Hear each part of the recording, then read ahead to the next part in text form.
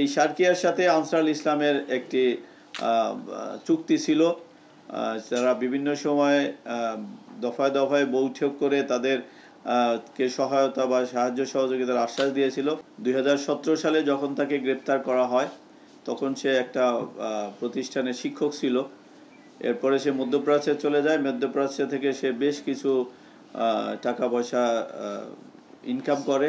সেই টাকা নিয়ে এসে সে বাংলাদেশে একটা বড় ব্যবসা শুরু করে এবং সেই ব্যবসার লাভের টাকা সে পুরোটাই সে সংগঠনের কাজে ব্যবহার করছিল। এর বাইরে আপনারা জানেন যে ইমাম মাহমুদের কাফেলা, যাদের বিরুদ্ধে আমরা অভিযান চালিয়েছিলাম কুলাউড়া, মৌলভীবাজার জেলার কুলাউড়ায়, সেখানে এই ইমা, ইমাম মাহমুদ যখন জেলখানায় ছিল, তার জেএমবির কিছু সদস্যদের সাথে তার যোগাযোগ হয়, পরিচয় হয় এবং তারা তাকে ওরকম ওই যে সার্কিয়ার আদলে নতুন একটি প্ল্যাটফর্ম করার জন্য তারা ইয়া দেয় এবং এই সেই কাজে তারা তাকে বিভিন্ন সাহায্য সহযোগিতার আশ্বাস দেয়।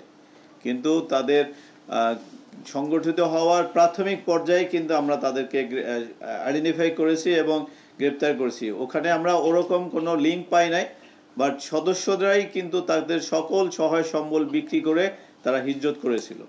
বাট এই বছরে আপনারা জানেন আমরা অনেক বড় বড় শীর্ষ জঙ্গিদের গ্রেপ্তার করেছি। যার মধ্যে আহ, সার্কিয়ার প্রধান শামীন মাহফুজ কে আমরা গ্রেপ্তার করেছি এবং তার গ্রেপ্তারের মাধ্যমে কিন্তু আমরা এই সার্কিয়ার অধ্যায়ের সমাপ্তি বলে আমরা মনে মনে করেছি।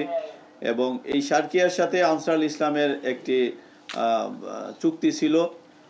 যারা বিভিন্ন সময় দফায় দফায় বৈঠক করে তাদের কে সহায়তা বা সাহায্য সহযোগিতার আশ্বাস দিয়েছিল, সেটাও আমরা আইডেন্টিফাই করেছি এবং এই এই বৈঠকে যারা ছিল, তাদেরও বেশ কয়েকজনকে কিন্তু আমরা গ্রেপ্তার করেছি।